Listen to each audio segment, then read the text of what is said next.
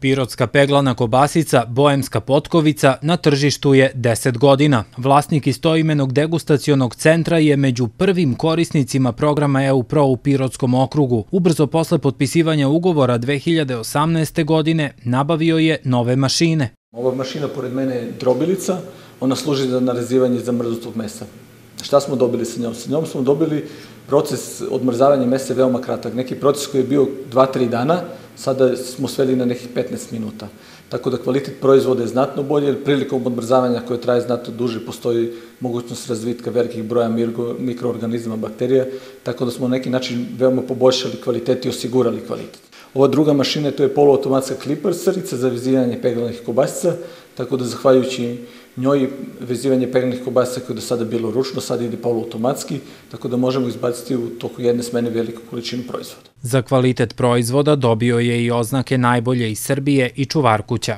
Unapredio je poslovanje, to je doprinelo proširenju tržišta, što bi smatra trebalo da bude cilj svakog preduzetnika. Podrška pristupu finansiranju i novim tržištima bila je tema međuokružnog projekta organizacije Novitas, kojim je obuhvaćeno više od 60 mikro i malih preduzeća u jugoistočnoj Srbiji. Za online prodaju proizvoda za 10 žena preduzetnica izrađen je sajt vredneruke.rs, Lokalne samouprave su uz podršku EU Pro-a korak bliže novim investitorima. U Pirotu je izrađen plan generalne regulacije budućeg logističkog centra u slobodnoj zoni.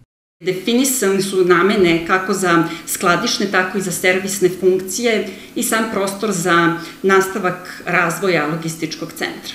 Izrada plana detaljne regulacije je od velikog značaja za podsticaj lokalnog ekonomskog razvoja, stvorio se preduslov za izradu projektno-tehničke dokumentacije koje će se realizovati u nekoj narednoj budućnosti i ova lokacija će biti dakle na raspolaganju za sve potencijalne investitore i stakeholdere.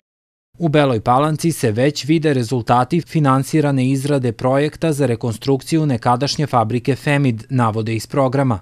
U Beloj Palanci je već investirano preko 700.000 evra u rekonstrukciju objekta, objekta na osnovu tehničke dokumentacije čiju smo izradu mi podržali i u tom smislu to je važan, uh, važan rezultat ne samo zbog sama investicije, već i zbog toga što sada tamo postoji funkcionalno preduzeće koje zapošljava nove radnike i koje ima potencijal za dalje rast. Bela Palanka i Babušnica su uz pomoć novca iz ovog fonda rekonstruisale zgrade domova kulture, a u Dimitrovgradu su finansirani radovi na adaptaciji sportskog kompleksa.